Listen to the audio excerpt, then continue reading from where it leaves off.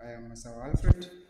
I'll be your trainer for today uh, on uh, the system unit components, beginning with the RAM.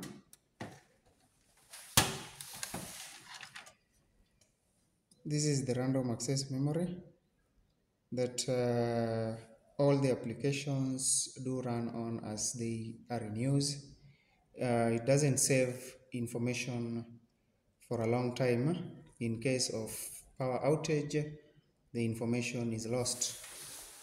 So the RAM is a very essential component of a computer and it must always be available. They vary in uh, capacity.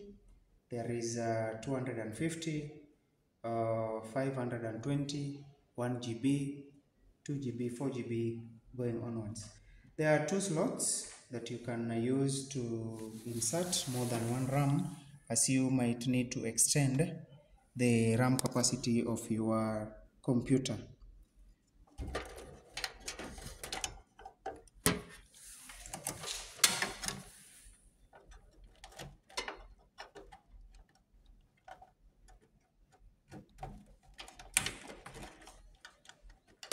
So what is that about RAM?